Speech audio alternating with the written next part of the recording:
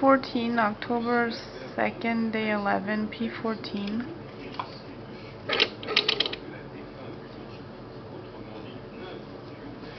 Nine worms.